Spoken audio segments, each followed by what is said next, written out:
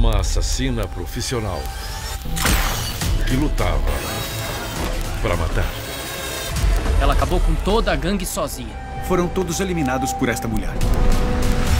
Mas desde que ela virou mãe, Viva!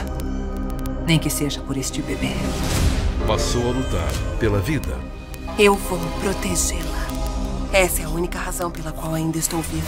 Segunda, depois do BBB. A vilã em tela quente.